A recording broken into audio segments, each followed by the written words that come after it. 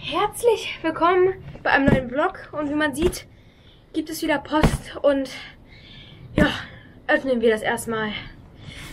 Es ist bisher das größte und schwerste Paket, das uns jemals erreicht hat. Ich bin wirklich mal gespannt. Es kommt aus Brühl, kann ich schon mal sagen. Mehr weiß ich nicht und ich bin wirklich gespannt, weil ich gar keine Ahnung habe, was das sein könnte. Und wir wissen, dass es in einem Paket verpackt ist.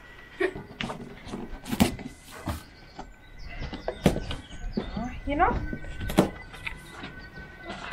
Ein langer Brief, den lesen wir uns durch. Was ist das? Darf ich die gleich platzen? Herrschaftszeiten. Oh. Was ist das denn alles? Ach du Scheiße. Äh, Das kann doch... ich glaube, da hat jemand ein ganzes Geschäft geplündert. Das können wir gar nicht alles zeigen. Was ist das? Hier. Ist die sauren, guck mal. Ich liebe diese. Ein Kölschbier. Das ist ja schon mal für John steht hier. Ein, ein Malzbier. Sehr coole Sachen. Also, äh, was kann ich sagen? Ähm, vielen, vielen Dank. Also Ja, hier, äh, ja. Ich glaube, wir haben jetzt, und ganz wichtig, während der Corona-Zeit, immer schön die Hände sterilisieren. Ja, und Simone hinter der Kamera hat auch schon die Hand vom Mund. Also Ja. ich würde mal sagen, lieber die Hände vom Gesicht lassen. Äh, ja, ich würde mal sagen, bevor wir hier aus dem Staunen ähm, gar nicht mehr herauskommen. Geht Geht. Erstmal los mit Mit- dem Vlog. Genau. Dankeschön aber.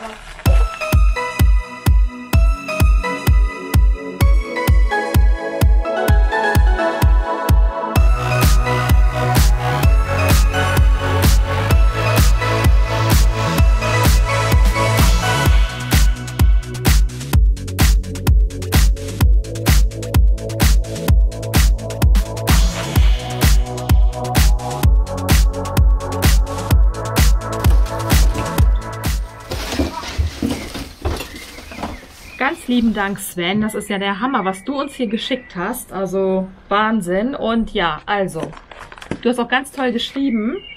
Die Lind-Artikel kommen aus dem Werk in Aachen. Dort hast du uns ein paar Artikel, paar Artikel eingepackt, von den Klassikern bis Nice to Sweet You. Also ich werde schon, ja, mir läuft schon das Wasser im Mund zusammen, wenn ich da nur ran denke. Lind ist nämlich super lecker. Dann Hans Riegel Bonn kenne ich als Haribo. Diese Leckereien kommen, wie der Name schon sagt, aus unserer alten Bundeshauptstadt Bonn.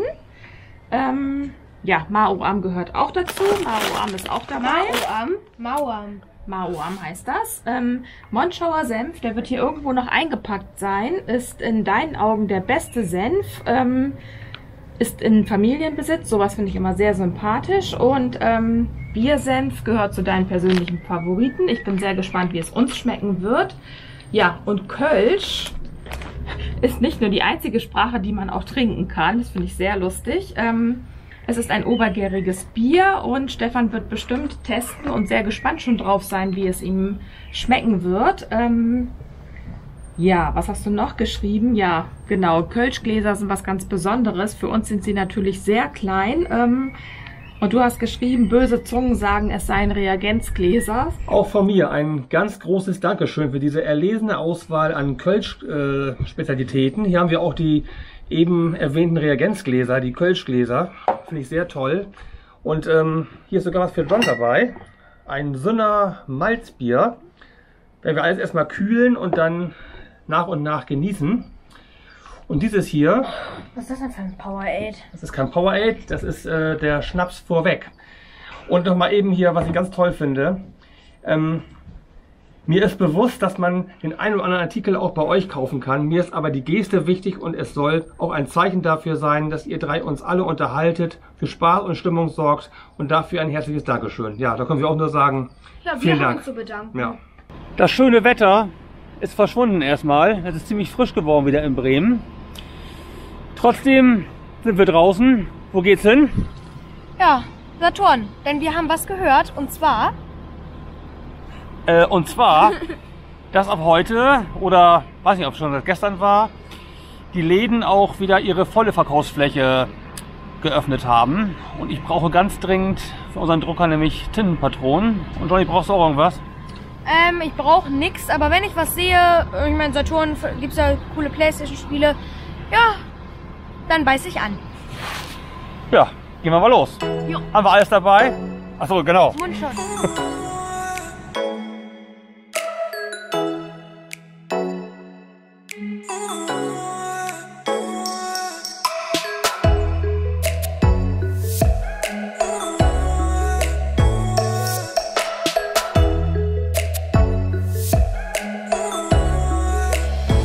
seit acht Wochen mal wieder Rolltreppe fahren endlich. Ja, das tut gut.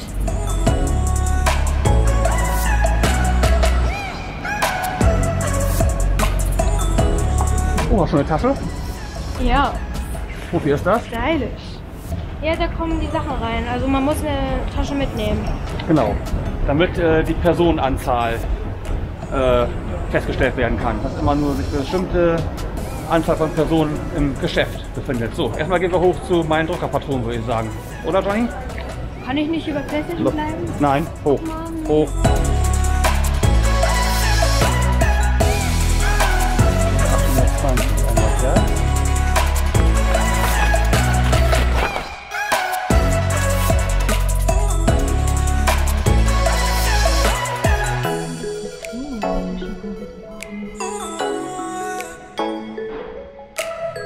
So, der erste Einkauf seit vielen Wochen ist getätigt. Druckerpatronen. Das ist immer sauteuer, finde ich. Ich meine, bei uns halten die Dinger wirklich lange. Aber mal eben über 60 Euro äh, für ein Komplettpaket ist schon ziemlich teuer. Und dann gab es noch ein paar Spiele. Ja, für mich ähm, The Walking Dead hier dieses Spiel. Ich habe mir davon schon Season 1, Season 2 und ein New Frontier gekauft, aber ich habe keinen Bock, die ganze Zeit die Disc zu wechseln. Alles ist jetzt auf dieser drauf und ich muss nichts machen. Und noch mehr, glaube ich. Da sind noch mehr Teile drauf, als, du, als du hast, oder? ähm, Bonusinhalte.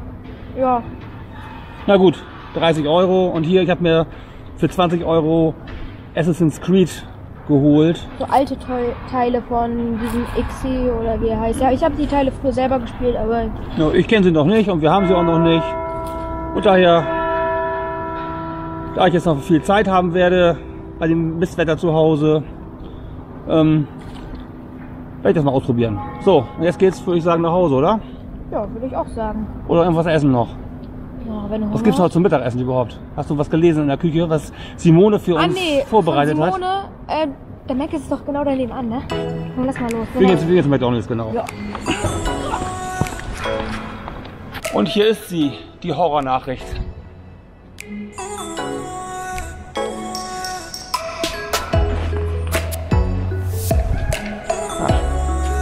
Schulen machen wieder auf bald. Wird doch mal Zeit, muss ich echt mal sagen.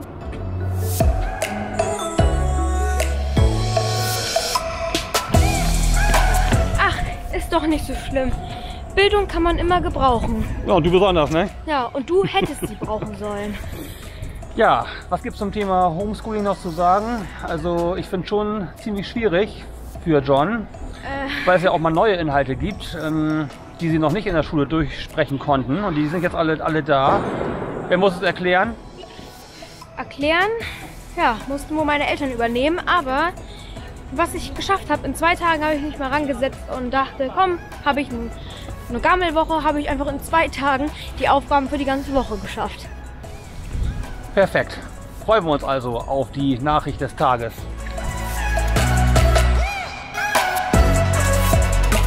So, da haben wir unser Mittagessen schon mal in schriftlicher Form. Der Rest kommt gleich raus. Ich habe mir einen schönen Signature Barbecue Beef oder Bacon, wie der heißt, geholt und einen Big Mac. Ja, ich habe mir einen normalen Standard genommen, einfach zwei Cheeseburger ohne Gurkenscheiben, ist einfach und nicht zu teuer. Und wie es sich gehört, Mittagessen ist man natürlich zu Hause.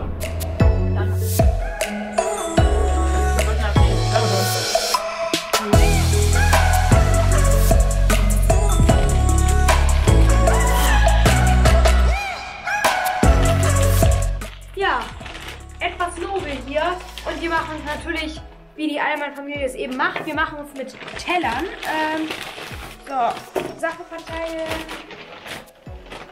Und ja, guten Appetit. Das ist eine echte Besonderheit. Zum ersten Mal in meinem Leben werde ich jetzt einen McDonalds Burger auf einem Porzellanteller oder von einem Porzellanteller essen. Dank Corona alles.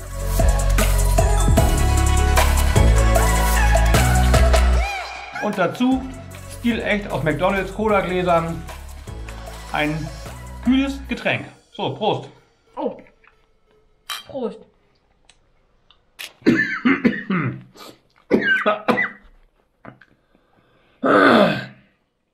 Oh, da verschluckt er den ganzen Kram, ja.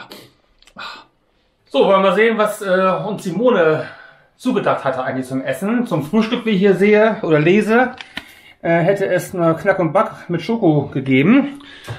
Auch schon mal nicht schlecht, aber wir haben ja das Frühstück ausgelassen. Und zum Mittagessen hätte Simone ihre Hamsterkauf-Vorratskammer geplündert. Nämlich es hätte dann, Raviolis gegeben. Na, okay, hätte ich auch essen können. Ähm, ich mag Ravioli. ja, ich mag die auch, aber ich kann die auch nicht so oft essen. Von daher bei McDonalds äh, von John schon eine sehr gute Entscheidung, muss ich mal sagen.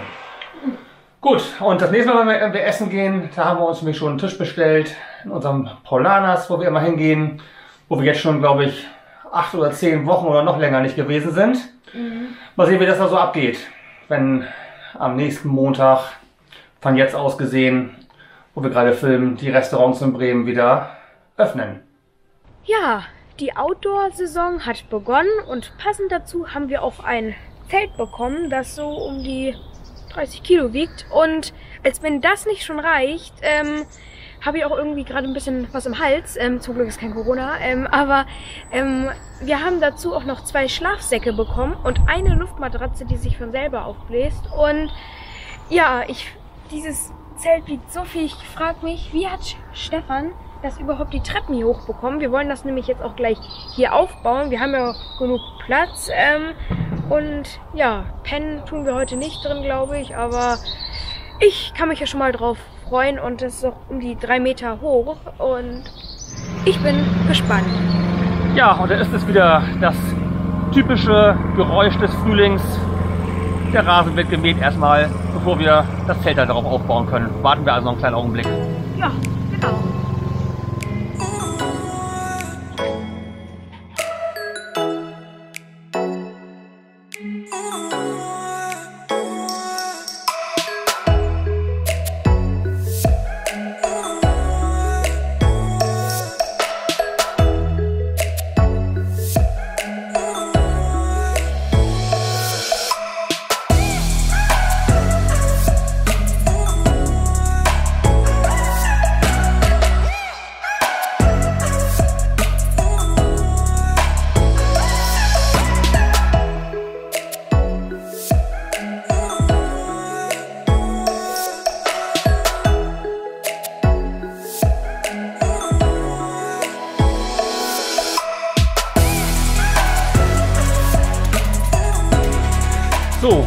eine Stunde später.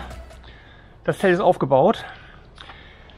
Äh, wenn man das ein bisschen geübt hat, glaube ich, dann ist das auch nicht mehr so schwierig. Dann braucht man dann vielleicht nur die Hälfte der Zeit. Das war ein bisschen doof, weil die Anleitung dieses äh, Zeltaufbaus äh, sehr äh, spärlich war, sag ich mal. Ich sag mal schon das alleine, würde ich sagen, wenn wir mal Zelten fahren sollten. Ja, witzig. Das haben wir zusammen kaum geschafft. Aber erstmal nach der Arbeit ein Kakao.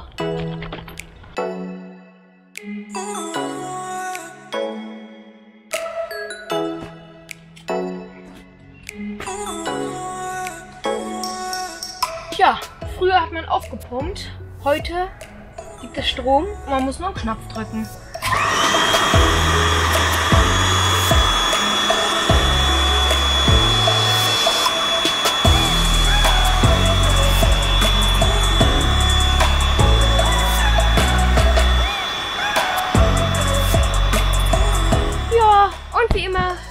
Es eine Roomtour. Also bis jetzt haben wir eigentlich hier gar nicht so viel zu sagen, aber was halt cool ist, in diesem Zelt kannst du einfach, du musst nicht die ganze Zeit hocken, hier kannst du einfach aufrecht stehen.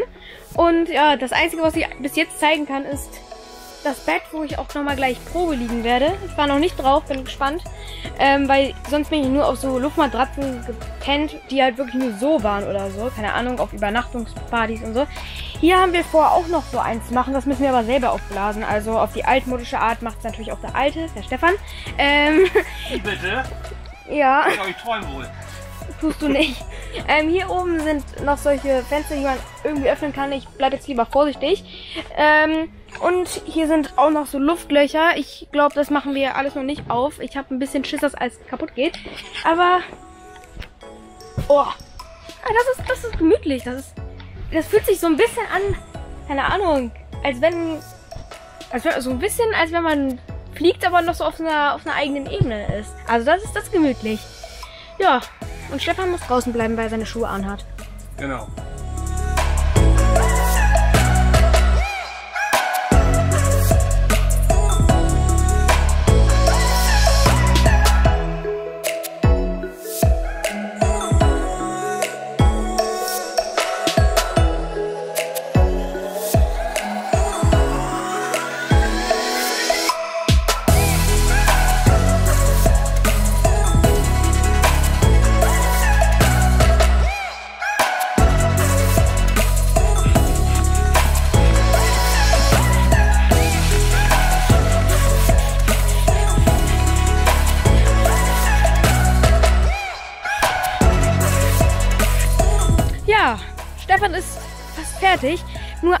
Hat die ganze Sache. Das hier muss hier durch. Ja, ich sehe schwarz. Ich nicht. Das geht schon.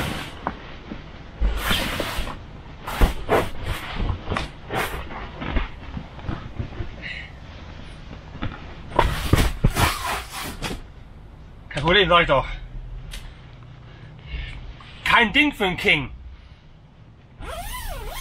alles neu irgendwie. Also wir freuen uns das erste Mal jetzt seit Wochen wieder essen gehen und ja, ich weiß auch nicht, schlechtes Gewissen, ja, nein. Ich glaube, man fühlt sich erstmal richtig unbeschwert wieder und ähm, ja, die Abstandsregeln werden hier eingehalten. Wenn man zur Toilette geht, muss man sich hübsch machen und Und sogar die sich ein Speise bisschen verkleiden. Und sogar die Speisekarte kann man mit einem QR-Code öffnen.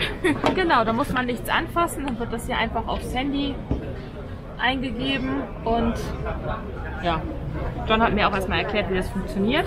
ja, muss man heutzutage leider. Ja, könntest du mir auch mal was erklären und ja, jetzt habe ich aber erstmal Durst und ich freue mich über die ja, neue Unbeschwertheit. Prost!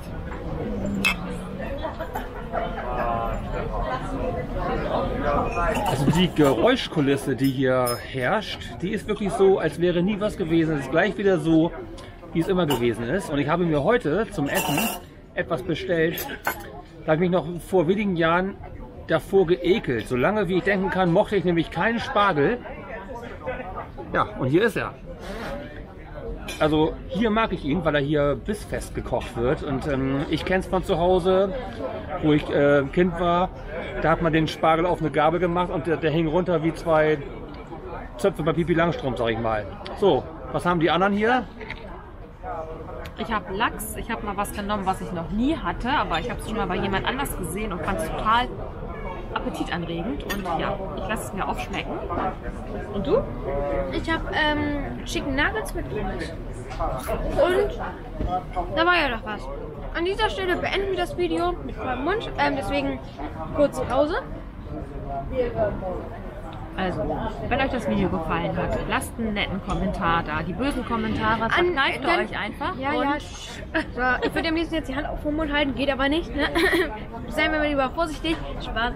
Ähm, an dieser Stelle beenden wir das Video. Wenn es euch gefallen hat, könnt ihr das Video natürlich liken und abonnieren. Und dann sehen wir uns im nächsten Video wieder. Tschüss.